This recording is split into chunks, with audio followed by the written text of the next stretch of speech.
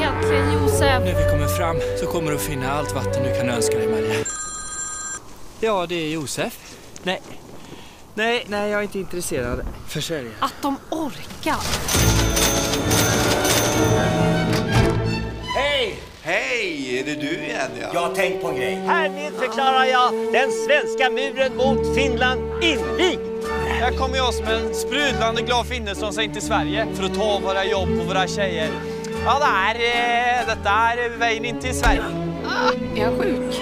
Nej, nej, han sover bara. Han har gjort det de senaste åtta åren. Han har sovit i åtta år. Här var det skulle jag kunna få med om ett glas vatten? Detta är ju Sverige. därifrån! Du får ta nummerlapp precis som alla andra. Här måste det finnas plats för oss allihop. Om man skär av sig förhuden så kanske vi kan klämma in ett par till. Men hur skulle avsaknaden av en förhud kunna vara ett uh, utrymmesargument? Men det blir lite mer plats. Tänker jag. Ser inte du att jag jobbar här? Förlåt.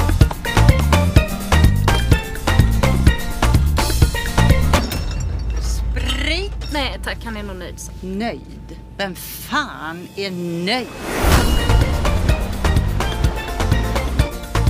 Snälla. Ja, de har satt hålet på baksidan. Klurigt.